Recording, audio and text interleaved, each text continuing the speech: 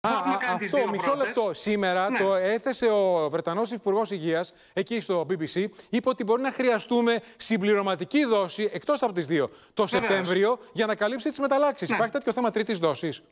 Υπάρχει τέτοιο θέμα, ναι. Α, Αν δούμε ότι τα εμβόλια αυτά δεν είναι όπως μας λένε οι εταιρείες 100% αποτελεσματικά στο να αποτρέπουν τις νοσηλίες και τους θανάτους, γιατί αυτό μας απασχολεί περισσότερο. Το να κολλήσει και να περάσει ήπια την νόσο χωρίς να συμβεί κάτι άλλο, ε, δεν έγινε και τίποτα. Αλλά το να κολλήσεις και να την παριά στη βαριά και να μπεις στο νοσοκομείο και να κινδυνεύεις να πεθάνεις, εκεί είναι το σημαντικό. Αν δούμε ότι τα δεδομένα των εταιριών επιβεβαιώνονται και όντως αποτρέπουν νοσηλίε και θανάτων, θανάτους, δεν θα χρειαστούμε επαναληπτική δόση. Αν δούμε ότι εκεί μπορούμε να χάνουμε ένα 10-20%, τότε προφανώς και θα χρειαστεί επαναληπτική δόση. Αλλά αυτή ακριβώς την επαναληπτική δόση, αυτή φτιάχνουν τώρα οι εταιρείες.